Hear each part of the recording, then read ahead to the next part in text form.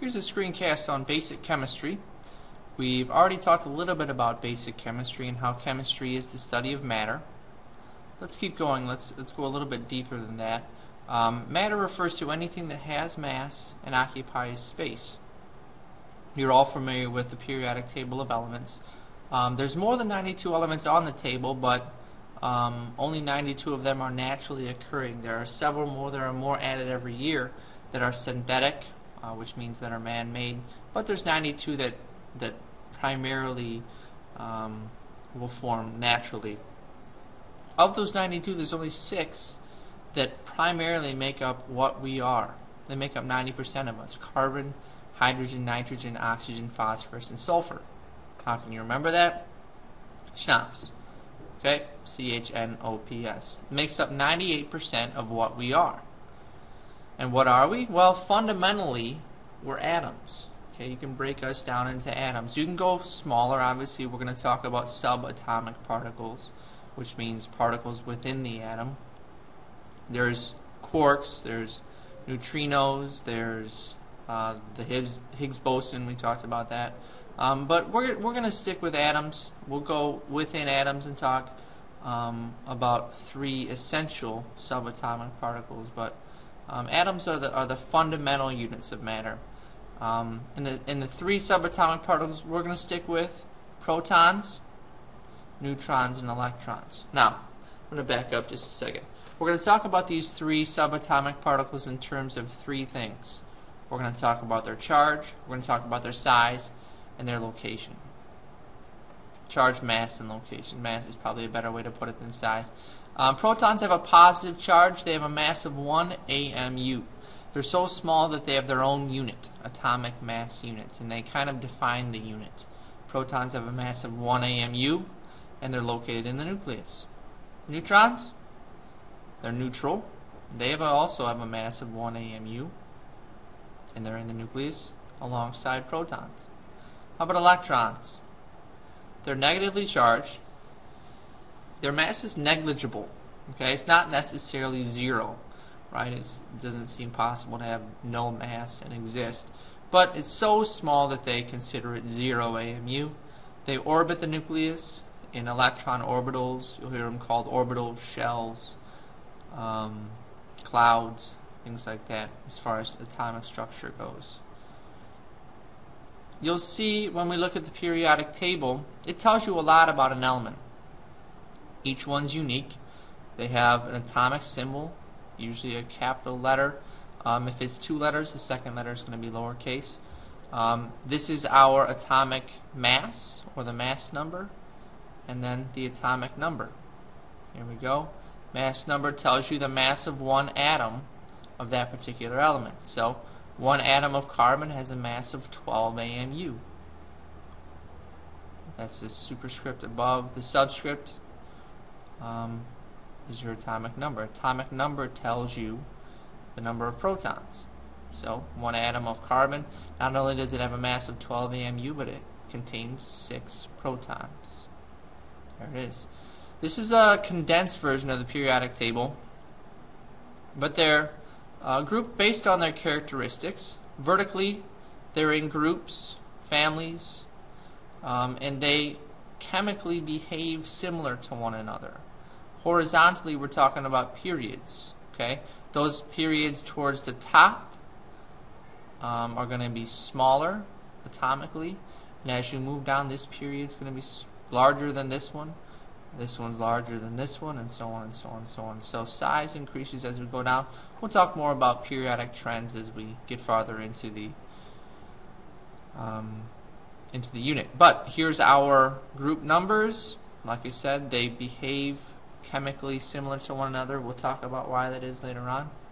And the periods going horizontally. Here is the periodic table. Now, if you're watching this and you haven't already, you should hit pause and you should color code your periodic tables. What I want to stress is these families, these groups. Okay? Group 1, we're talking about the alkali metals. That's um, excluding hydrogen. We'll talk about why hydrogen is there. But these are the alkali metals. They all behave the same because of the number of valence electrons. These are the alkaline earth metals. here in group 2. You should note that on your periodic table. These in the middle are the transition metals. Over here, we have the poor metals along the stair step, the metalloids, nonmetals here, including hydrogen, the halogens in group 7, and finally in group 8, the noble gases, the inert gases. So hit pause, color code your groups. Uh, not necessarily worried down about these groups down here, these periods down here.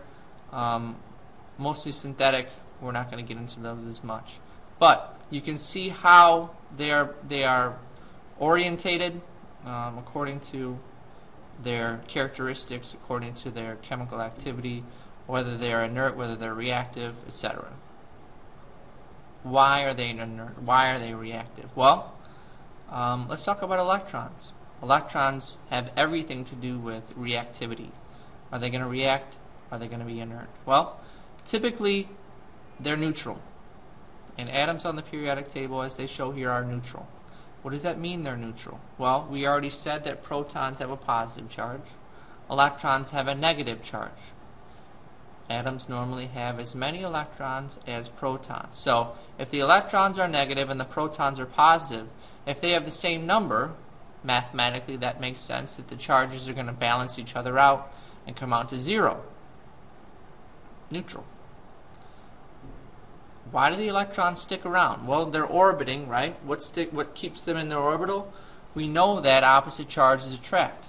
Electrons are negative, protons are positive, so that opposite charge, that force is going to keep them there. It's going to keep them revolving in their orbitals or their shells and keep them from going away. Quick review. How do we find protons? We look at the periodic table. What's the atomic number? That's going to tell us protons.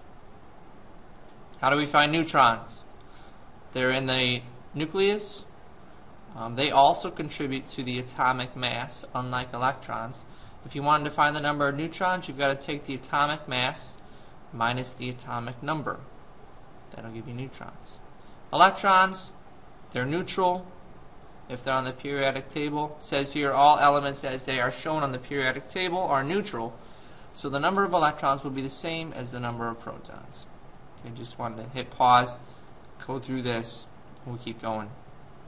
Isotopes. The reason I showed, I told you how we find neutrons is because there are forms of different elements. Carbon is one example that differ in their number of neutrons.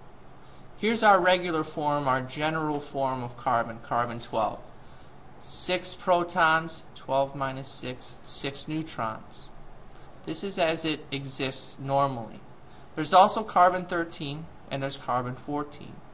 Carbon 13, how does it differ? Well, its atomic mass is 13 instead of 12. How is that possible? Well, it didn't gain a proton because if it gained a proton, it wouldn't be carbon. It would be nitrogen. So, it can gain and lose electrons, but that doesn't affect the mass. So it had to have gained a neutron it has an extra neutron. Instead of having 6 neutrons, it has 7. How about carbon 14? 6 protons still. But 14 minus 6, that means 8 neutrons. So these are still forms of carbon. By definition, they have to be carbon because they have 6 protons. But they're isotopes because they differ in their number of neutrons. This has 7, this has 8. Okay? And this is basically what this says. Isotopes are radioactive um, because they can give off energy. Some of that energy can be damaging. Finally, um, one last thing about electrons, the octet rule. You've drawn Bohr models in the past. This is what Bohr models look like. Okay, this shows electron distribution. Okay, here's carbon. It has six protons, six electrons, because it's neutral. How many electrons can go in that innermost orbital? Two can. Alright, where do the rest go? They go in the next outermost shell. So four go here. How about nitrogen? It has seven protons, so it must have 7 electrons. 2 in the first, 5 in the next.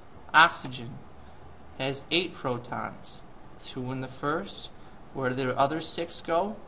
The next outermost shell. So, you see a trend here. This innermost shell can hold a maximum of 2 electrons. And those shells outside of it can hold a maximum of 8. 2, 8, 8. If you fill the second shell, you add another one. And that's the octet rule. Octet obviously meaning 8. Bohr models show electron shells as concentric circles around the nucleus. The innermost can hold 2, and those outside can hold 8. If that valence shell, or this outermost shell, is full, that means that that atom is stable. It's happy.